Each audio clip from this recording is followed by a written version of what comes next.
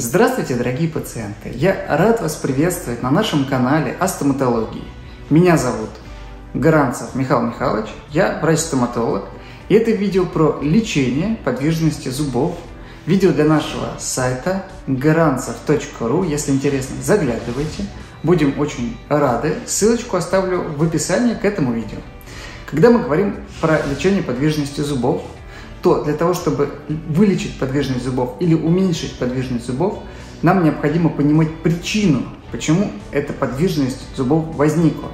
Для того, чтобы выявить причину подвижности зубов и, соответственно, спланировать лечение этой подвижности, нам необходимо провести соответствующую диагностику. Конечно, когда мы встречаем нашего пациента, мы сначала э, заполняем медицинскую документацию, проводим осмотр внимательный, клинический, проводим зондирование карманов паранатальных, если они есть. Всегда зондируем зубодесневую борозду. И помимо этого проводим рентгеновские снимки. Также в некоторых случаях необходимо проведение дополнительных анализов крови для выявления общих заболеваний или сахарного диабета. Это могут быть разные виды анализов, как правило, врач-стоматолог дает соответствующее направление. И получается, что после диагностики могут быть разные причины подвижности, и в зависимости от того, какова причина подвижности зубов, и формируется лечение. Например, если это проблемы общего генеза, общие заболевания, то, конечно же, в этом нам помогают врачи, а, не стоматологи, общие врачи, которые а, позволяют компенсировать общие проблемы, общие заболевания, тем самым улучшить ситуацию в полости рта. Помимо этого может быть проблема, э, которая заключается, если у пациента есть сахарный диабет. в этом случае врач-стоматолог, чаще всего пародонтолог, э, проводит лечение совместно с врачом-эндокринологом для того, чтобы решить проблему комплексно. И, как правило, получаются достаточно хорошие результаты, если а, эта работа проводится сообща. Также проблема может быть и причина в том, что у пациента могут быть, например, проблемы с пародонтом, то есть воспаление в тканях вокруг зуба. А, причинами могут быть а, как инфекционные процессы, например, в паронатальном кармане, так и, например, короткая уздечка языка или мелкое преддверие полости рта. Как правило, эти проблемы решаются врачом-пародонтологом, стоматологом, который проводит все возможные комплекс подготовительных мероприятий, как правило, проводит подготовку консервативную, выявляет причину, а, проводят, а, как правило, бактериальные посевы из карманов. Если это причина в пародонтите, также проводят профессиональные чистки, лечение аппаратом «Вектор» а, и также какие-то дополнительные хирургические мероприятия, которые позволяют улучшить ситуацию с тканями пародонта. Если, например, это короткая уздечка губы или языка, она корректируется. Если это мелкое преддверие, также корректируется. И помимо этого, для того, чтобы снизить подвижность зубов, можно использовать а, такую технологию, как шинирование зубов между собой при помощи специальной стекловолоконной ленты. Помимо этого существуют технологии шинирования зубов, помимо стекловолоконной ленты, ортопедические технологии, которые выполняются врачом-стоматологом, ортопедом, который может, например, изготовить съемный шинирующий бюгельный протез – или же, например, объединить зубы при помощи мостовидного протеза. Мостовидный протез держит зубы, зубы в блоке и тем самым делает их как бы объединенными, консолидированными в единую конструкцию. И они, конечно же, не имеют возможности такой подвижности, как они зубы имели до того, когда они были объединены в мостовидный протез, когда они каждый стоял, стоял поодиночке и, конечно, имел возможность подвижности.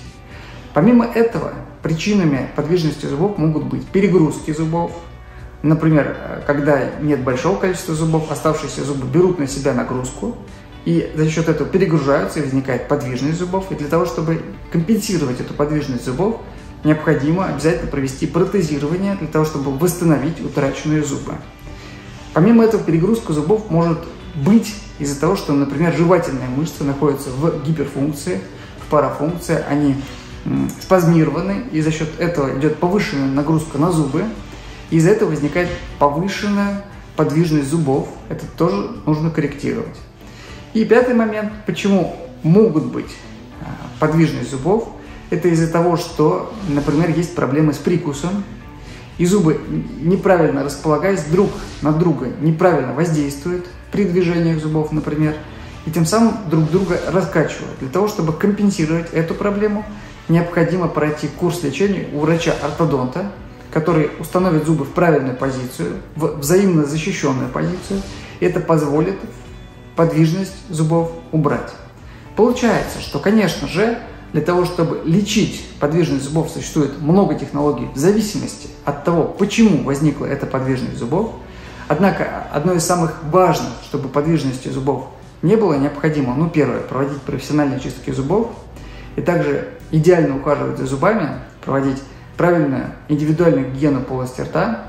Это позволит не возникнуть воспалению вокруг зубов, тем самым а, быть аппарату прикрепления зубов вокруг, зуб, вокруг зубов максимально а, здоровым, и это будет а, хорошим фактором для того, чтобы зубы стояли прочно, длительное время и не было никакой подвижности. Второй момент. Необходимо убирать любые перегрузки. Для этого необходима консультация врача-стоматолога. Если есть какие-то травматические блоки, их необходимо компенсировать, и тогда подвижности зубов не будет.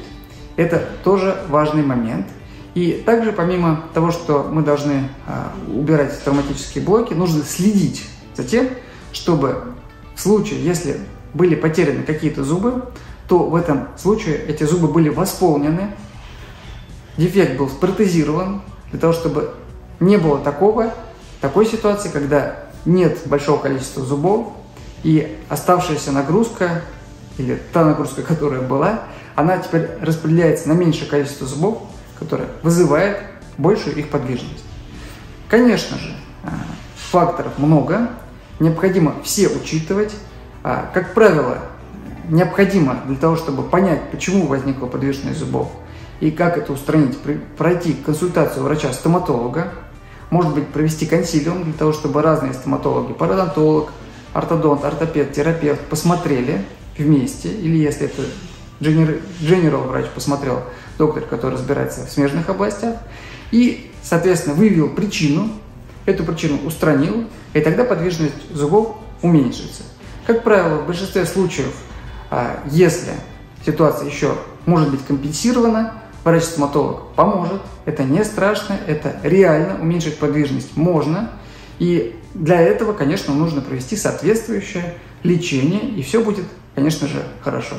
Я надеюсь, это видео было полезным, хоть и краткое, для того, чтобы понять, как э, выявить причину подвижности зубов и как устранить подвижность зубов у вас. Если вам нравится наша работа, то ставьте лайки, подписывайтесь на наш канал, задавайте все ваши возможные вопросы в комментариях. Я обязательно на все вопросы отвечаю, я считаю, что это важно. И увидимся в наших новых полезных роликах.